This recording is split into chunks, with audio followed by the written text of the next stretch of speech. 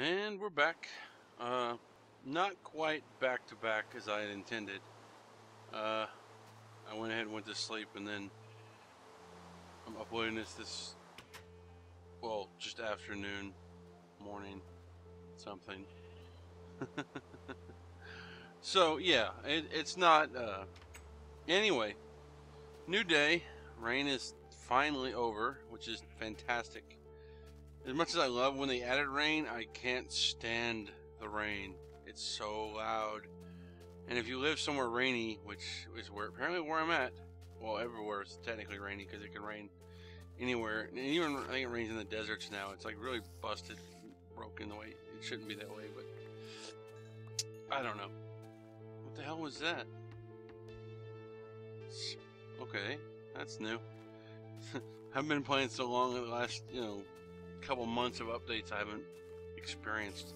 Haven't been playing in so long. So, yeah. It's, uh, I don't know what I'm doing here, honestly. I'm just, I suppose eventually I want to play through, like, to the end of the game. Like, literally the end. The zone is called the end. So that should be uh, interesting and uh, kill me a dragon. So I guess I'll work towards that. It'll be like a goal, and I'll have something to do. Because just building is, um, well, building is building, and it's not productive. It's well, it is productive because you're building something, but I mean, it's. I'm rambling. I don't even know what the fuck I'm talking about.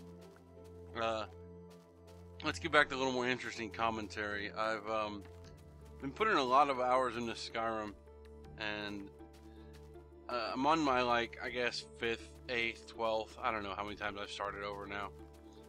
And um, the very first time I play an RPG, I'll generally start it up normal, play through a while, and eventually I get to that point where I'm tired of the mechanism of how the game just sort of forces you to drudge through things.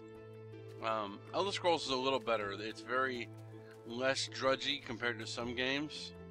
Uh, the leveling up system is rather quick, but then the enemies still sort of scale to your level, and unless you have like insanely epic gear or you exploit the system, it's just not easy.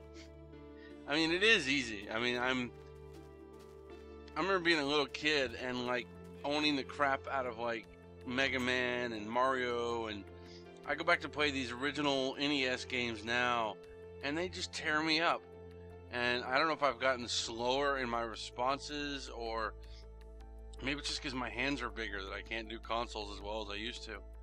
But I just don't have that in me anymore. That that quick.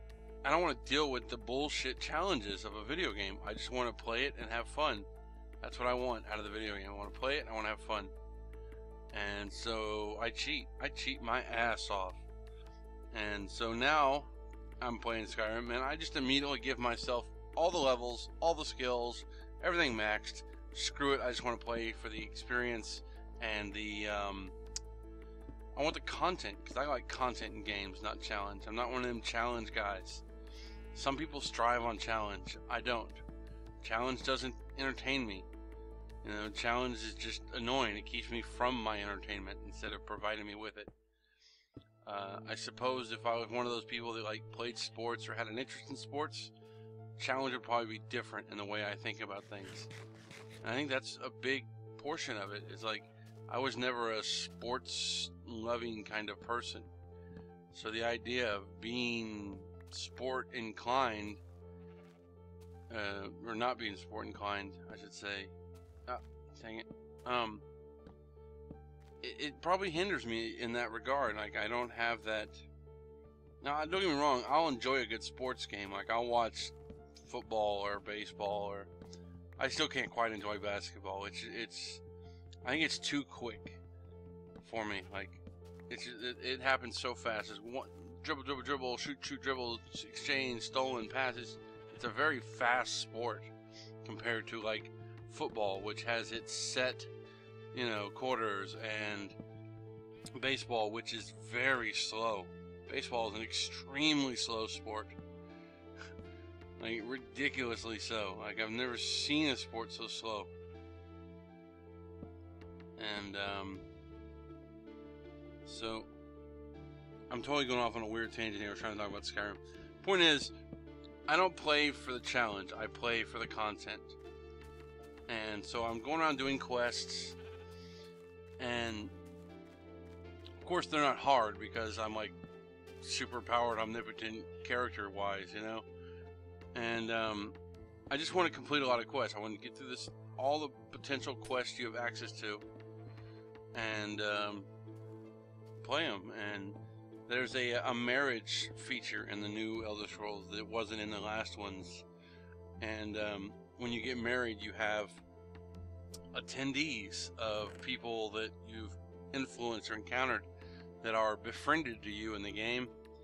So it's like I'm going around and purposely doing as many quests as I possibly can and completing as much and befriending as many people as possible just because I want to get married to one of the NPCs and have a massive attendee at, uh, count at my wedding.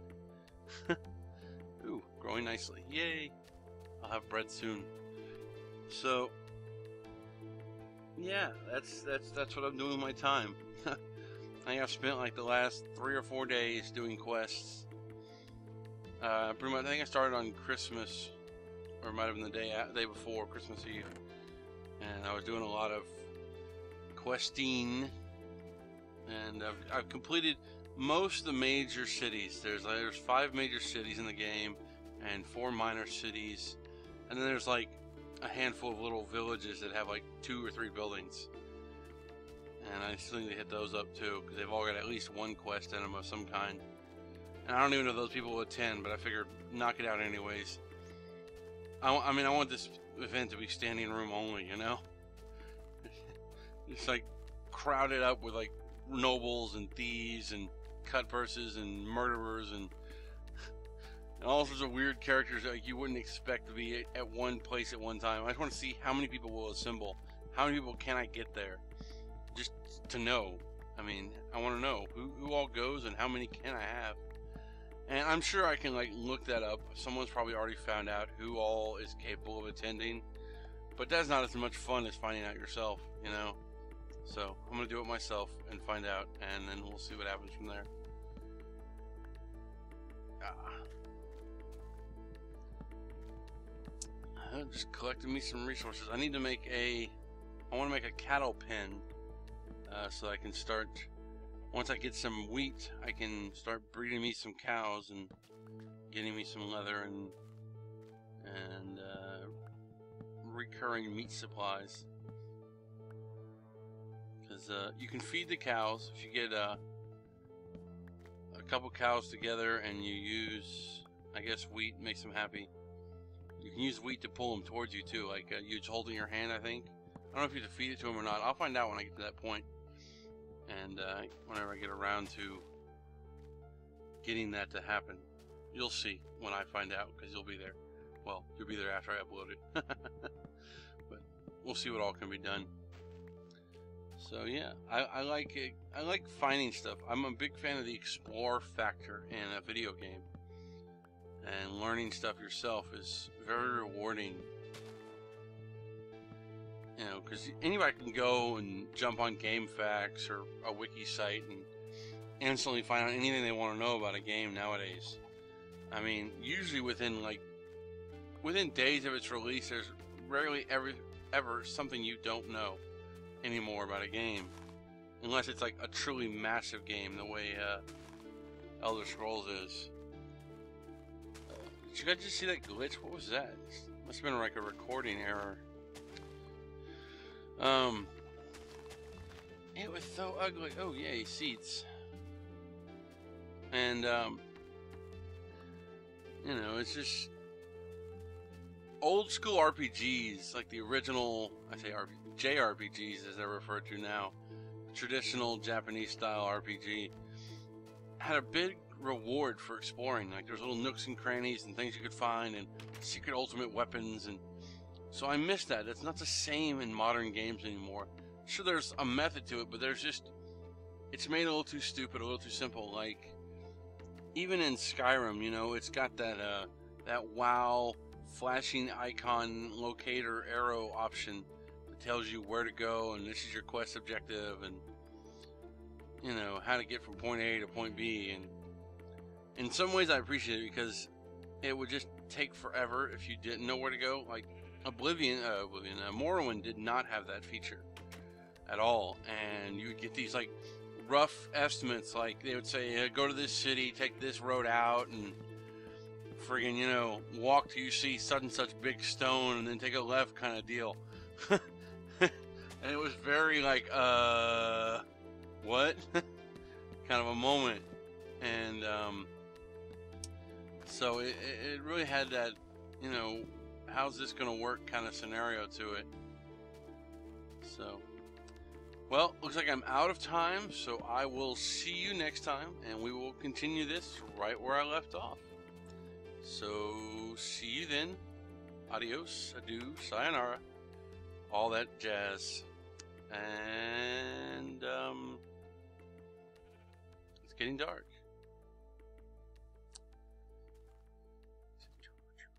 I love the music.